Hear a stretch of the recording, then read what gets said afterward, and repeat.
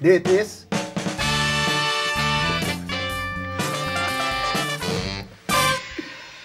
Goedenavond, dit is Bla Bla Bla.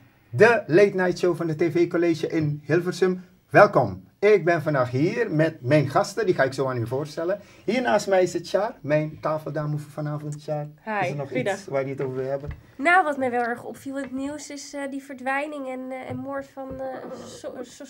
Oh, ja, ja, ja, die journalist. Die, Ja, de, de, inderdaad. de En Arabische dat veel journalist. brute, brute wijs Ja. om het leven is gebracht. Dus dat vond ik wel heel opmerkelijk. Ja, maar voor nu, we hebben een paar vaste items in de show en één daarvan is nepnieuws.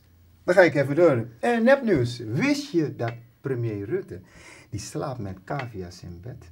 Er zijn in de, de, de tabaksboeren op de hoek die wisten te vertellen dat het was opgevallen dat hij elke ochtend met hele grote zakken met gras voorbij loopt.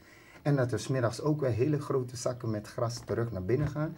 En hij heeft een keer door de ramen gekeken en voor hem was het een beetje duidelijk. Hij ziet geen cavia-hok, dus het kan niet missen. Waarschijnlijk slaapt hij met de cavia's in bed. Dat zo, tot zover het nepnieuws. Swipe for love. We kennen het, Tinder. eh, swipen, die vind ik niet leuk, die vind ik leuk, maar die wil ik afspreken.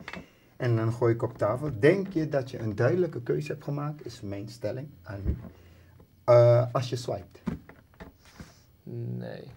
Nee, op het moment dat je swipet, eh, heb je natuurlijk nog geen duidelijke keuze gemaakt.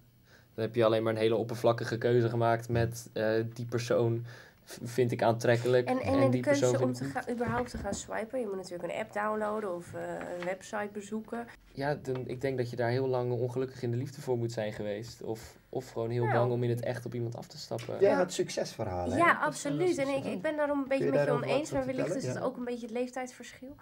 Eh, want ik heb, het- mijn twee beste vriendinnen hebben beide een eh Tinderella story. En eh, de ene is al vier Oh, jaar het heeft al een naam dus. Ja, absoluut, zo, zo, absoluut, zo noemen we dat. De ene heeft vier jaar lang een relatie en de ander twee jaar. En ontzettend gelukkig gewoon allebei samen. Dus het, het kan ook echt, Oké. gelukkig. Ja, ja, dat- Nou ja, ik heb het persoonlijk nog niet gedaan. Ik ken natuurlijk het fenomeen, maar ik zie eh, niet per se iets slechts in deze bezigheid. Eh, natuurlijk kun je tot die app eh, overgaan als je heel teleurgesteld bent geweest naar een relatie.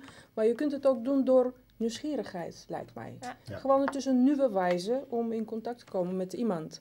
Dat betekent niet per se dat je tot succes eh, gaat komen, Ja. maar je kunt proberen. Het is heel spannend, lijkt mij, maar kan ook heel